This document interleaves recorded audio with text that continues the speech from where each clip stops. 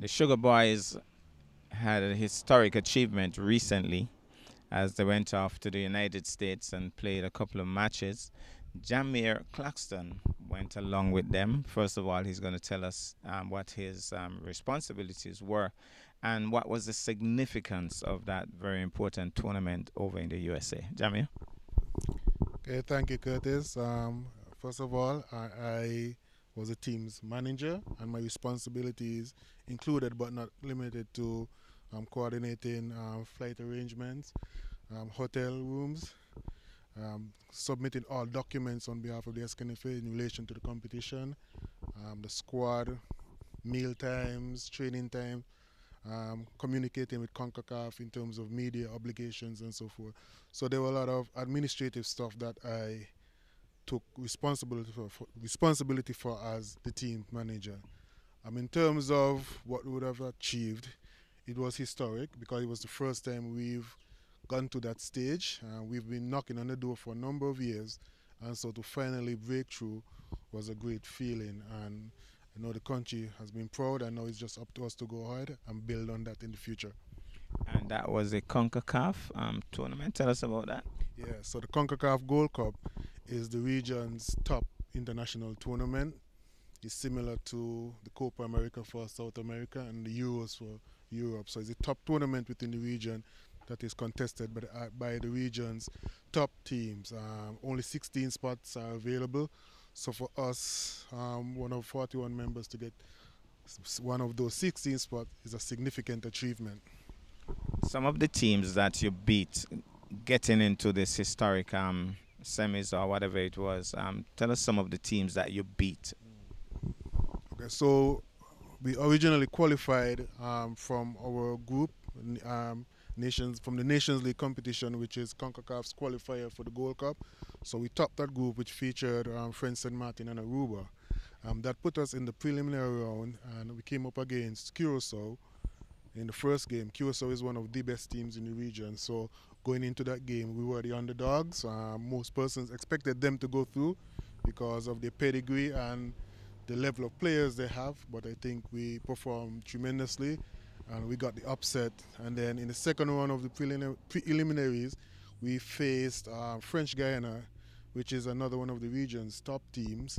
And again, we were victorious, and that put us, in, put us into the group stage for the first time in our history. So we had to get a we had to get past two very good teams to create history. And having created history, do you think that the team kind of froze, realizing it was like, hey, you know what we have achieved? This is historic.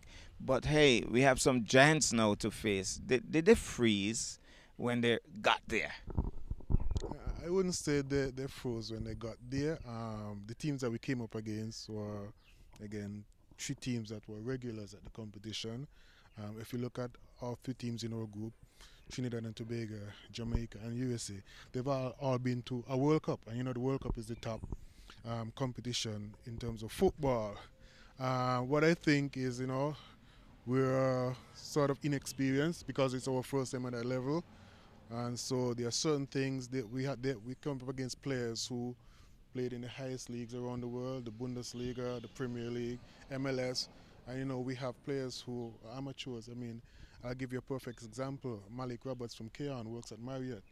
And in the game against Jamaica, he was facing Demarai Gray, who plays for Everton in the English Premier League. So if you can see the contrast in terms of where the players are. But I think for a first time, even though the results didn't go our way, it was a very good learning experience. There's a lot that we learned from technical standpoint, medical standpoint, and administrative standpoint, which is going to help us when we get there again. I also want to point out that we are, we had a couple of other Nevisians who played significant roles, whether administratively or otherwise, on this tour. Could you just mention those other guys?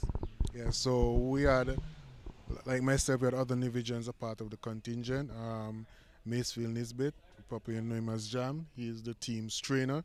Um, Duana Pemberton Jeffers, um, the team doctor, and Leroy Junjun Sweeney, the team's equipment manager. All of us played a significant role in helping the team get from the early stage to the Gold Cup. So, having lost in the matches in the USA. What's in it now? What is the SKN Sugar Boyz planning? What as we go forward, having learned from the experience, what's up? As I mentioned earlier, we, we learned a lot from the experiences, and so we have a general idea what it takes to compete at that level now. Uh, one of the most important lessons that we learn is that at that level, the, um, uh, it is very important to pay attention to details in all aspects of the team. Um, it is very important to get the right personnel, whether um, administrative, technical, even players. You need the right personnel for you to be successful. But most importantly, what we learn is that opportunities like this don't come along very often, especially for small nations like us. So we embraced it and it has given us the motivation to ensure that we are there next time around and also maybe consistently in the future. I think we have inspired um, a generation of young players coming up that it is possible for a small country like ours to play with the big boys. And so we are hoping that they, in turn, will now take our experience and use it as motivation to ensure that St. Kitts and Nevis are consistent participants at the Gold Cup. And finally, Jamir, of course, you had a warm welcome home. I think the nation was proud of the achievement. What do you think about the reception you got when you returned? Yeah, it was a very good reception. Uh, it showed that despite the results in the latter stages, um, the country as a whole was proud of our accomplishment. Um, even when we were in the US, when we first qualified, we were getting a lot of well messages from well wishers, both at home and in diaspora. Um, also, as I mentioned, when we got back home, we got a very good welcome. Even when we got back to Nevis, the, the contingent when we got back to Nevis, we were greeted wasn't planned, but as we exited the ferry, you know, persons were congratulating us. We drove to town. I remember getting to town and I needed to get something to eat, and I went to a restaurant, and I, was able to get a free drink. That person said, person was like, you know, this is all I could do for you, but I'm very proud of what you and the country would have achieved. So the welcome back home has been very positive. It's been very encouraging. Um, and I said, it has now motivated us to do better next time.